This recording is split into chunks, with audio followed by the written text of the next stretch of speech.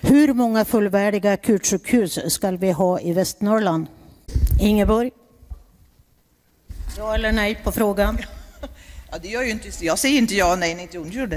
Eh, nej, men det, vi ska ha som vi har idag fast. Jag hoppas på en entreprenadlösning i Sollefteå och att vi därmed kan utveckla den verksamheten.